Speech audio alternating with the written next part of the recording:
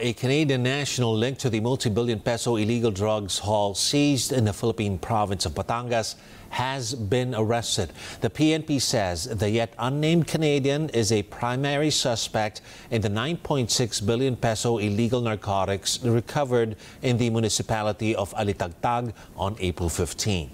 Police also say the suspect is the subject of an Interpol red notice for exporting and distributing illegal drugs in America.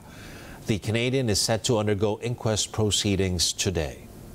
Around 15 Philippine senators no longer averse to economic amendments to the 1987 Constitution.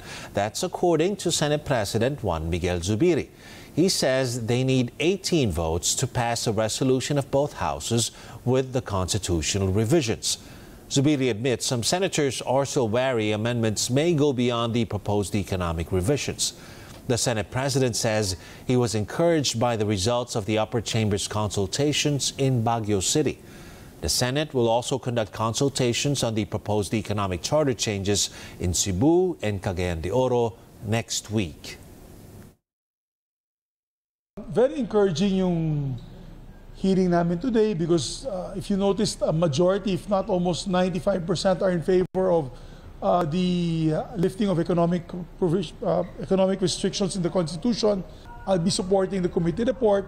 And um, I think we will be able to get a majority to sign the committee report of Senator Sonny Angara and his subcommittee. Meanwhile, a local official not happy about efforts of unidentified legislators to pursue the People's Initiative there. Baguio City Mayor Benjamin Magalong called the move unethical. He insists the charter change process should be aligned with the provisions of the Constitution. Tech experts warn artificial intelligence may pose a threat to the integrity of the 2025 midterm polls. Sherrie Ann Torres reports. With the advent of artificial intelligence, Southeast Asia election watchdogs are raising concerns about challenges facing the region's polls. Among them is the use of deep fake and coordinated authentic behavior in smear campaigns. Like former Indonesian President Joko Widodo, who was shown on social media speaking in Chinese, but was actually delivering a speech in his native language. According to Data Ethics Philippines founder and director Dominic Ligot, anybody can do a deep fake using an app like what he did. Entonces ha, ha, habido algunas discusiones últimamente sobre lo que ahora se llama Pati yung lips eh, diba? AI. Actually, ma- mahalata mo lang na dis, na distort siya kasi yung microphone pag mastan may microphone na distort siya. Oh. So that means di need deepfake din pati yung bibig, hindi lang yung audio. That's hard to find ah. Kunyari nakaangat yung mic ko, di mo makikita yun. Ligot says many political aspirants in the 2025 elections will surely use artificial intelligence, just like newly installed Indonesian President Prabowo Subianto, who effectively wooed voters using avatar or cartoon characters in his campaign materials. AI, he says, is really persuasive. Yung objectivity ng mga ano ng mga tao can be swayed by digital means. Kontrolado ng platform kung ano yung nakikita mo on your news feed or your search results. And yan ang binibenta nila sa mga advertisers na bumibili. In the recent regional forum on the 2025 Philippine elections, one expert also pointed out the danger of being too glued to the internet. The Filipinos are the ones who are always online. So Filipinos are the ones uh, use mostly the online media and the digital platform uh, around the globe that they are very much exposed to the uh, digital threat um, and, and also about the misinformation and disinformation. A close collaboration with other countries is a must to control the problem. Democracy Insights Group meanwhile points out other challenges the Philippines elections could face next year. These include dysfunctional information environment, influence of money in politics, a polarized nation, election safety and vulnerability to cyber attacks.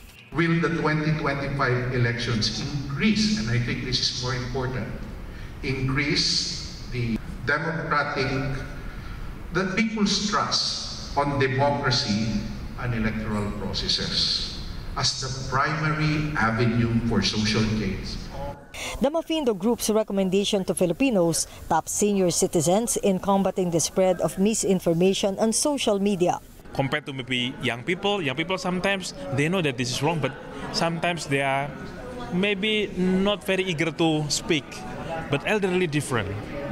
They want to speak they, because they have like a, yeah, uh, they have like dedications, they have patience. So I think I would say that uh, reaching senior citizen is very strategic uh, to help us. The National Movement of Citizens for Free Elections or NAMFREL, on the other hand, wants the COMELEC to issue an AI code of conduct. Ngayon pa lang, yung ating mga kandidato, political parties, nag, nag-uumpisa, nag-iisip na yan ng mga strategies nila, campaign strategies. And I will not be surprised no, kung uh, nag-uumpisa na rin silang gumamit ng AI. Commission on Elections Chief George Garcia admits the AI election challenge is huge and there should be a legislation to regulate it. Bakit po pagka social media, unlimited? Paano po yung mga troll farms? Paano po yung mga disinformation at saka misinformation? Paano namin mapaparusahan kung walang batas para parusahan ng ganong klaseng aksyon? Senator Amy Marcos, chairperson of the Senate Electoral and People's Participation Committee, says she agrees with the COMELEC. But the bigger issue is how can the Commission enforce such a law? IT expert Ligot advises people to consult others each time that they see a dubious election related post on social media. Ligot adds it's also high time to teach children as young as grade 1 about the dangers of fake news and disinformation. Sherian Torres, ABS-CBN News.